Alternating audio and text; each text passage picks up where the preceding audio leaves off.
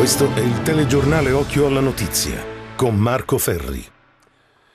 Buonasera, buonasera, a tutti e benvenuti a questa nuova edizione del telegiornale Occhio alla Notizia che si apre con eh, una buona notizia, insomma, diciamo così. Il, eh, le Marche registrano infatti il primo paziente estubato, una notizia che Ceriscioli ha voluto dare personalmente in segno di speranza, ma i dati aggiornati purtroppo annunciano che i decessi anche nella giornata di oggi sono tanti, 22 per l'esattezza, dimessi invece 45 pazienti. Intanto la Regione ha approvato una nuova ordinanza che regola gli spostamenti delle persone. Vediamo. È un uomo di 51 anni, il primo paziente non più intubato nelle Marche, ricoverato dal 10 marzo scorso nel reparto rianimazioni di Marche Nord a Pesaro. A renderlo noto è il presidente della regione Ceriscioli che ha comunicato personalmente la notizia. L'uomo non è stato curato con i farmaci sperimentali ma con le normali terapie. Intanto il bollettino del Gores annuncia che i decessi odierni sono 22, tra cui un 78enne di Urbino, 10 di Pesaro con età media di di 79 anni, un 85enne di Monbaroccio, un 82enne di Valle Foglia, una 77enne di Fano e 4 di Ancona. Tutti avevano patologie pregresse. Il totale dei decessi nelle Marche sale a 136. I test effettuati sono 4.512, i casi positivi 1.737, 170 in più rispetto a ieri. Nella provincia di Pesaro e Urbino sono 983. I ricoveri in terapia intensiva Riva 141, 22 in più, a Marche Nord sono 36, a Torrette 31, a Urbino 5. I ricoveri di semi-intensiva sono 140, 5 in meno registrati oggi rispetto a ieri, i ricoveri non intensivi 439, i casi di isolamento domiciliare 4793, 385 in più rispetto a ieri. In provincia gli asintomatici sono 1712 e sintomatici 401. I ricoveri in degenze post-critiche risultano 77, con aumento di più di 19 pazienti rispetto a ieri. I dimessi sono ad oggi 45. La Regione Marche ha indetto una nuova ordinanza a fronte dei dati in aumento al fine di evitare assembramenti di persone. L'ordinanza prevede la chiusura al pubblico di parchi e giardini pubblici. L'uso della bicicletta o lo spostamento a piedi sono consentiti esclusivamente per le motivazioni ammesse per gli spostamenti delle persone fisiche previste nell'autocertificazione. Nel caso in cui la motivazione sia l'attività motoria per ragioni di salute o l'uscita con il proprio animale, si è obbligati a restare in prossimità della propria abitazione. L'ordinanza sarà valida dalle ore 24 del 20 marzo fino alle ore 24 del 3 aprile prossimo. Ed è stato individuato e denunciato dalla polizia il ladro senza scrupoli che l'altra notte si è messo a rubare intrufolandosi nella palazzina che ospita gli operatori del 118. Non ci hanno messo molto gli uomini del commissariato di Fano ad individuare e denunciare colui che l'altra notte, senza la minima remora, si è introdotto nell'alloggio equipaggi del 118 e ha reaziato quel che poteva, un telefono cellulare di marca, occhiali e qualche indumento, tutte cose e oggetti che gli operatori lasciano lì durante il loro turno di lavoro. È un trentenne di origini tunisine, già ben noto alle forze dell'ordine e con precedenti, un balordo che è stato subito individuato individuato grazie alla professionalità degli agenti delle volanti che hanno anche eseguito una perquisizione nel suo alloggio e hanno trovato immediatamente lo smartphone derubato agli infermieri, gli eroi dei nostri giorni, mentre il resto del bottino è stato trovato dai poliziotti sparso nei pressi della palazzina della psichiatria del Santa Croce. Amaro e tagliente lo sfogo della dottoressa via social Monica Amadori Spero che un giorno, quando avrai bisogno di noi e saremo lì a soccorrerti, perché lo facciamo con tutti, anche con i delinquenti, ti sentirai una M e la vergogna ti faccia venire le lacrime agli occhi. Ora il tunisino è stato denunciato a piede libero dal commissariato di Fano per ricettazione ma gli agenti delle volanti ieri verso le 18 nel contesto dei controlli per il rispetto dell'ordinanza Conte hanno anche fermato e chiesto motivazioni della loro presenza a due uomini fanesi, entrambi nel distributore di via Pertini nel quartiere Sant'Orso. Uno aveva un giustificato motivo, mentre l'altro nessuno, e oltre a questo era anche in evidente stato di ebbrezza dovuta probabilmente all'assunzione di alcolici. Gli agenti così lo hanno denunciato a piede libero in base all'articolo 650 del codice penale come da decreto e resistenza a pubblico ufficiale e sanzionato per ubriachezza molesta. La situazione nelle case di riposo a Fano nella struttura di Famiglia Nova è sempre difficile e tesa. Stanno combattendo una guerra impari contro questo nemico invisibile che sta mettendo in ginocchio tutta la società. Siamo a Famiglia Nova, la casa albergo per anziani di Fano dove purtroppo il virus è penetrato ed ha già fatto tre vittime. I loro ospiti sono i bersagli più vulnerabili del nuovo coronavirus, oltre che gli operatori stessi che assistono i 65 residenti in struttura e che da un paio di settimane sono in una situazione emergenziale anche per le quarantene del personale. Chiaramente noi abbiamo avuto la possibilità, come tutti, di effettuare dei tamponi solo sulle persone che hanno presentato delle complicanze. Questo ci ha portato a non avere la possibilità di fare i tamponi diciamo, a tappeto, ma abbiamo effettuato 20 tamponi con 20 risultati positivi. Questo ci fa pensare, comunque ragionare sul fatto che potenzialmente essere, possono essere infetti o comunque aver contratto il virus tutti gli anziani e anche tutti gli operatori.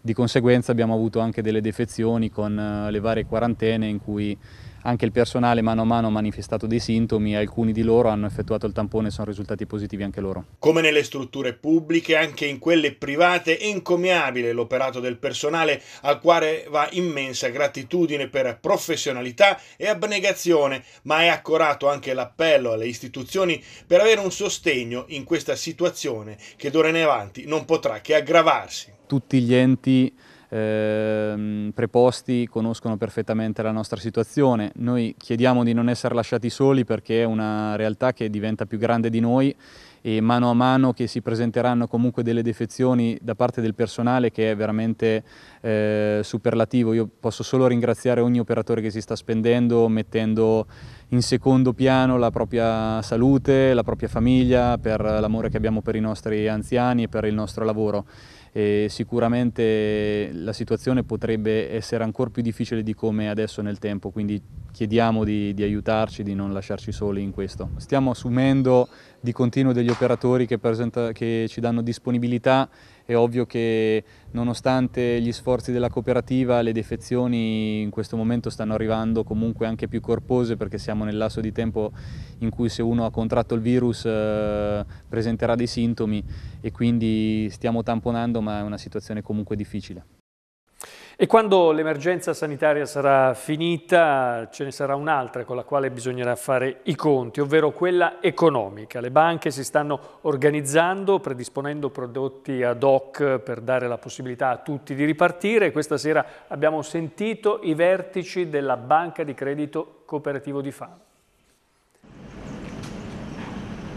Gli ospedali e gli operatori economici sono messi a dura prova in queste settimane ed è per questo che la BCC Fano mette in campo iniziative concrete, anche alla luce delle misure previste dal recente decreto Cura Italia, sul versante economico per sostenere il tessuto produttivo locale e rispondere alla crescente esigenza di liquidità ad integrazione delle misure attuate dal governo. BCC Fano ha elaborato prodotti mirati. Si tratta sicuramente di una situazione del tutto nuova e abbiamo pensato che non bastasse fare le moratorie, fare dilazioni, eh, che, manovre che continueremo a fare, ma eh, si tratta comunque di situazioni anche che vengono proposte poi e saranno sostenute anche a livello proprio di disposizione da parte delle, del governo e quindi dovremmo comunque vedere un po' se queste iniziative come le possiamo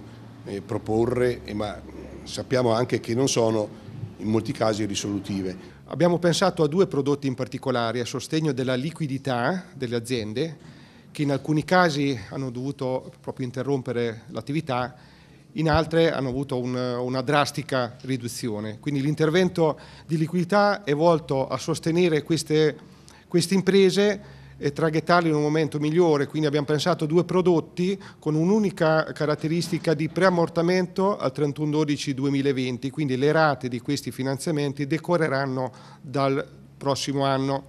Il primo prodotto che abbiamo pensato che ha un importo massimo di 25.000 euro a un tasso dell'1%, è dedicato all'attività commerciale e servizi categorie che sono state proprio costrette a chiudere temporaneamente l'attività e quindi si troveranno a fronteggiare un periodo di, di blackout da un punto di vista di incassi, incassi zero.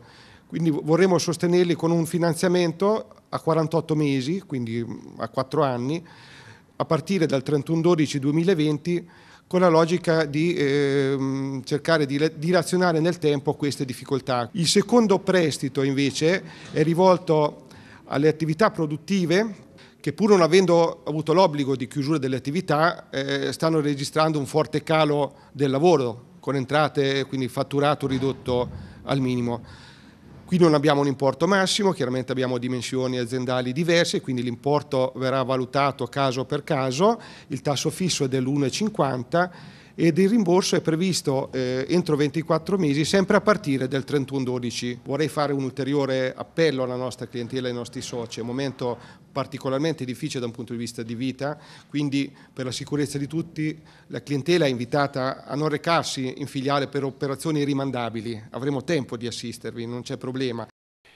E quella che avete appena visto è una sintesi, dopo il telegiornale andrà in onda uno spazio dedicato a questo approfondimento. Dato l'eccezionale momento e la volontà di agevolare l'applicazione delle indicazioni del governo e delle regioni, Conad ha suggerito ai propri soci imprenditori di limitare l'apertura dei punti vendita nelle prossime due settimane, dal lunedì al sabato fino alle ore 19.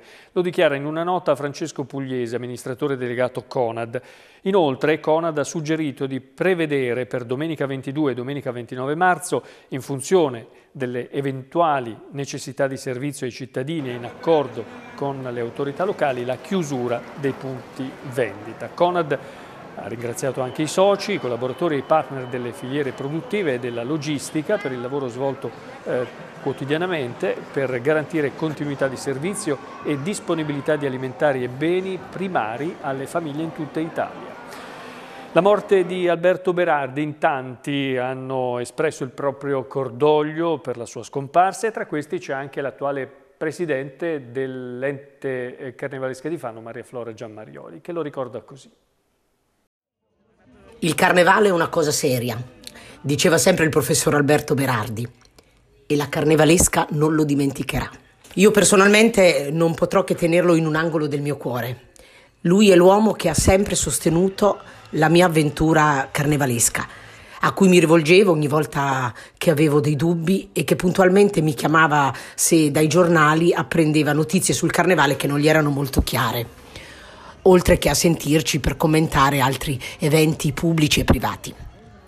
L'ultima volta ci siamo visti nella sua casa ad ottobre e ho un bellissimo ricordo di quelle ultime ore passate con lui. Ciao Alberto. Posticipata di un mese la scadenza delle fatture relative al servizio idrico integrato che ASET gestisce nei comuni di Fano, Mondolfo e Monteporzio. Nel dettaglio ASET ha deciso di portare a 60 giorni le date di scadenza delle fatture in emissione invece dai 30 giorni ordinariamente previsti. La prossima fatturazione sarà emessa entro la fine del mese. Infine lo sportello clienti è chiuso al pubblico fino al 4 aprile mentre è sempre attivo il numero verde. Per una settimana, a partire da oggi, il campanile del Teatro della Fortuna di Fano e il Bastione San Gallo si illuminano con il tricolore italiano, un simbolo per dare un po' di speranza e di colore in un periodo di grande sacrificio e l'impianto è stato donato da una società privata alla città di Fano.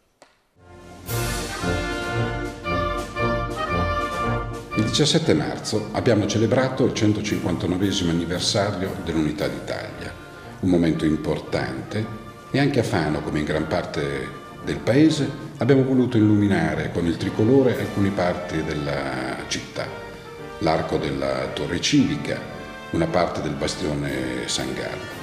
Abbiamo voluto farlo per dare un senso di unità, di appartenenza, consapevoli che i momenti difficili si affrontano se siamo capaci di essere uniti. Questo è il senso.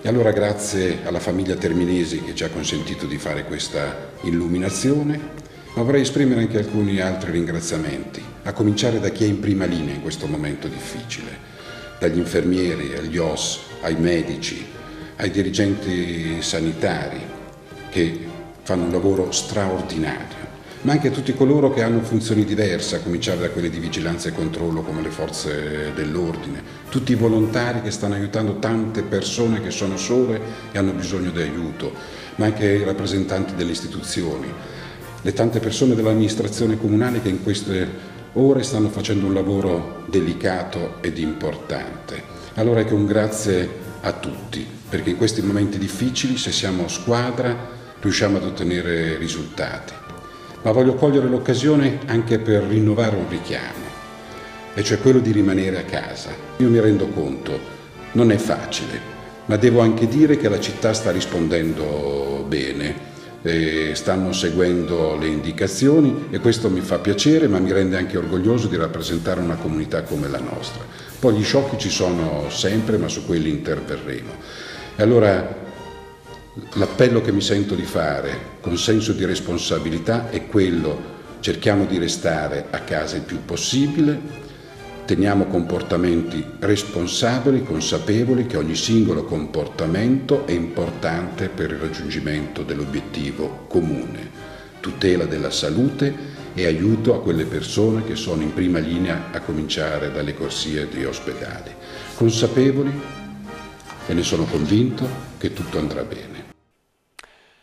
Anche Papa Francesco si unirà spiritualmente questa sera alle ore 21 alla preghiera del Rosario, la preghiera dei santi e degli umili aderendo così all'appello dei vescovi italiani per l'emergenza coronavirus. Il Papa esorta tutti alla speranza e all'esercizio della prossimità in famiglia attraverso la comprensione, la pazienza ed il perdono. Il rosario verrà trasmesso in diretta dalla Santa Casa di Loreto su Fano TV Canale 17, un momento che si renderà visibile anche attraverso l'esposizione per chi vorrà alle finestre delle proprie case di un piccolo drappo bianco oppure di una candela accesa. Ma sentiamo le parole del Papa.